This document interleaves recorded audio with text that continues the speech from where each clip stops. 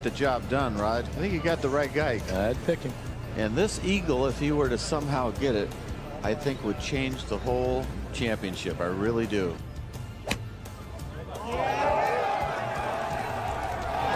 By golly, this is a great looking shot if the distance is good. That almost landed in the hole. It certainly appeared that way. I, I don't know how you can hit a better shot than that. I don't. I have no idea how you can hit a better shot than that. But now left with a brutally tough 65-footer that if he hit it too hard, could roll down the false front some 50 yards off the green. This was a pressure putt like few others.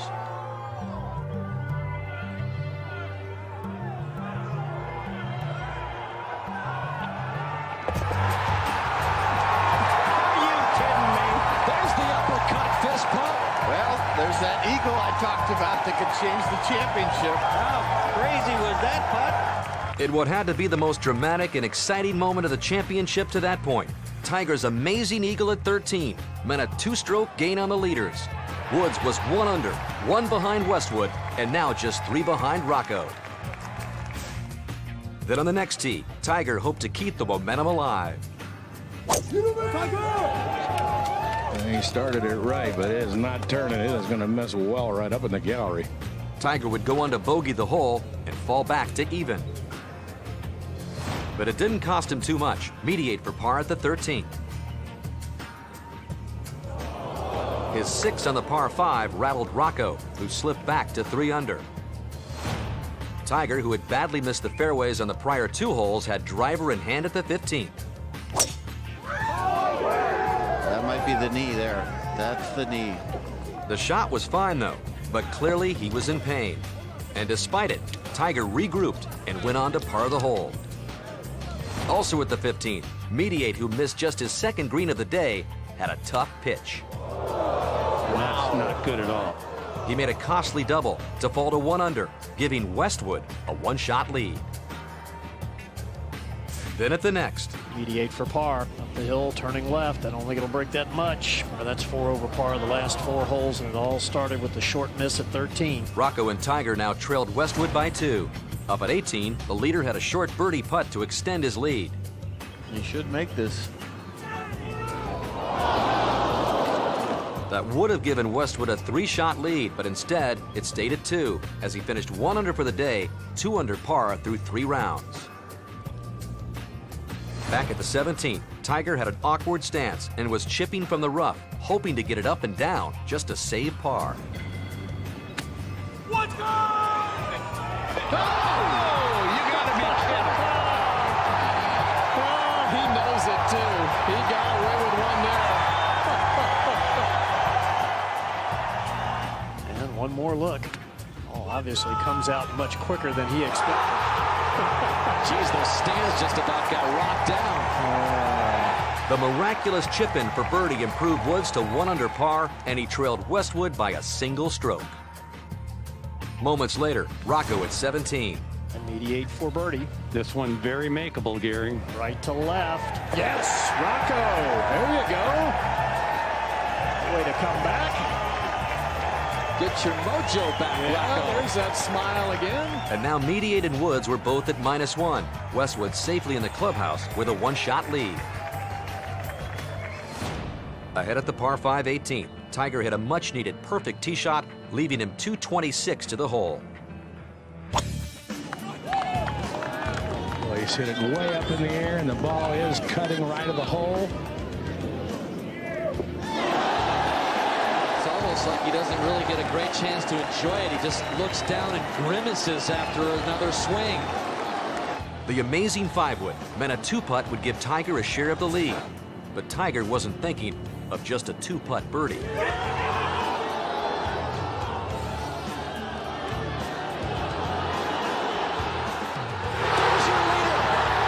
Second eagle on the back nine for Tiger Woods. That's what you call limping home. And he's in the position that he's been in that's put away 13 previous major championships. Get the knee up on ice, Tiger. Look at this. You've got another 54-hole lead in a major championship, and I don't think he's attained that kind of position quite like he did today. This has been absolutely remarkable. A truly spectacular round indeed for Tiger Woods, who was five shots back at the 12th and now led Westwood by others sharing their love of the sport with their children. Another poor tee shot at the first left Woods in trouble. This ball's come out straight left, hits a tree, and kicks left again. What starts he's had to his rounds this week, the worst of his career. It's amazing he's leading it. His opening hole adventure wasn't over yet. This is third. Oh, he got it up too quick, hit the tree. Can you believe this, Roger? Have you ever seen It's a start just, like just this by no, I never have. He, this first hole is just giving him fits all week. Yeah, but this is another notch worse than the other days. He would go on to make his fourth double of the week, dropping to one under. And while Tiger was struggling, Rocco was surging. Over to two. And Rocco Mediate for birdie to get to two under par. He may be in the lead in a minute, Gary. This is a right edge putt. Yes, sir. Good start for Rocco. At the second for Tiger, who uh, has been using his clubs as a cane. A double bogey, bogey start, dropped Woods to even par, two behind Mediate and one behind Westwood. After a bogey of his own at the fifth, Rocco had this to save par at the sixth. He's going to drop another one. Second straight hole that he's bogeyed, and he's back to even and out of the lead. And Westwood is the man by himself right now. Back to the tee at eight, championship leader by one, Lee Westwood. Eight iron in hand here. It's a blind green. The players can't see, but just that right side, that little sliver over here, you can see. Well, this on a good line. There's a birdie. Hasn't made one all day. There's the shot of the day for him.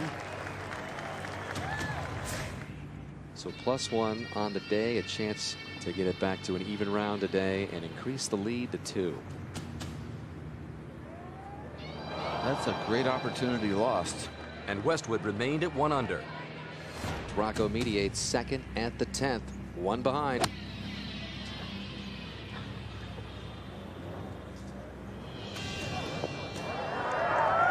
He made that for birdie and tied Westwood at one under. Back at the ninth, Woods made his first birdie of the day, forcing a three-way tie at one under, but that didn't last long as his fellow competitor Westwood regained sole possession of the lead at two under with his short birdie putt. But on the next, the leader drove into a fairway bunker, leaving him 129 yards to the hole. This one's come out low. He sculled it. This is out of here. Flew the green. Wow. Westwood with a bogey, and once again, a three-way tie for the lead. Ahead at the 11th, Tiger with a three-iron off the tee. And it's just a little left of the hole, trying to cut. That was a heck of a shot.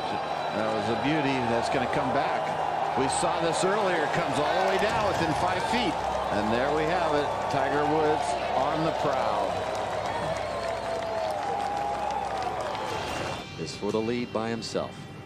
The field's going to quiver if he makes this. Would you have expected anything else? Tiger, after a plus three start in the first two holes, has birdied two out of the last three and has taken charge of the back nine in this U.S. Open. Rocco at 13. Shooting straight up the hill there, Mark. And all the way from the bottom of the hill. Good looking shot here. Beautiful shot. First guy to get it there, I'm going to tell you. Now he's having some real fun, Murph. Rocco with this to tie for the lead.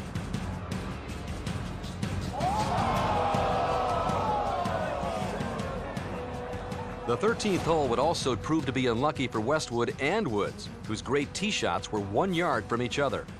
Westwood second from 292, and he was going for it. And he's pulled a big pull yank left. Watch out here.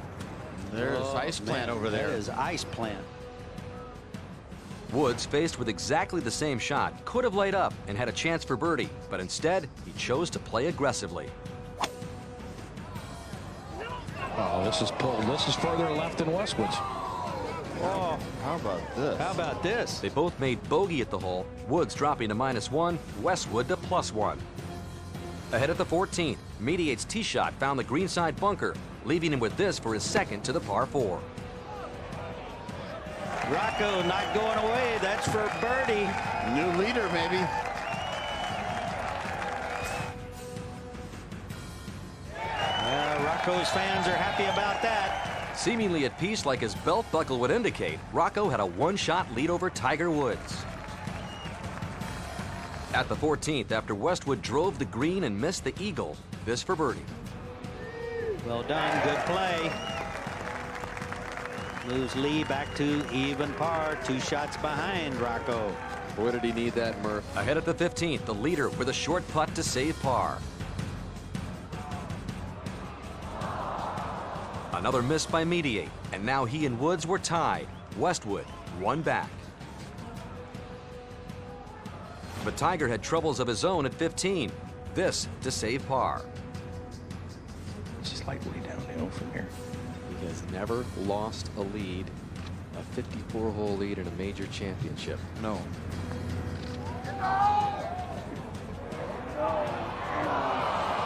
You know, with a foot and a half to go, that hit something and kicked left. It was breaking right into the center of the cup, and it nicked something and kicked it left. And he is not happy about that. Tiger's bogey meant Rocco was again the leader. Woods and Westwood trailed by one with just three holes left. Rocco made pars at 16 and 17, and then at the 18th, another short putt for par. So after 72 holes, the 158th ranked player in the world, Rocco Mediate, was in position to realize.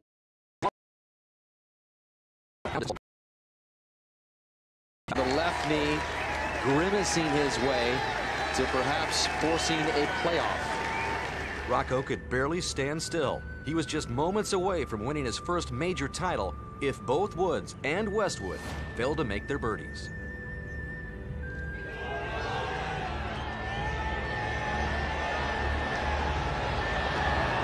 Westwood's going to come up short. One last bullet for Rocco Mediate to try to avoid. Two over 73 for Westwood, who began the day one behind Tiger. Well, the scene is set again for Tiger Woods in a major championship. Look at this. this is, it doesn't get any more exciting for Rocco than this.